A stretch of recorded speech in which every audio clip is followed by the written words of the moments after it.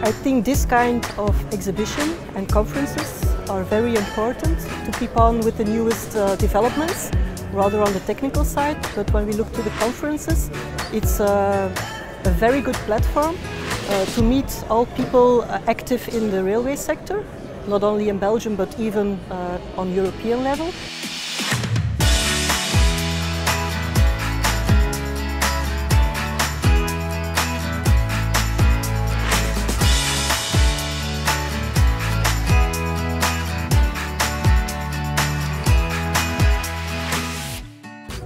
The Burn Group joined the RailTech uh, this year because that was the first time in, in Brussels.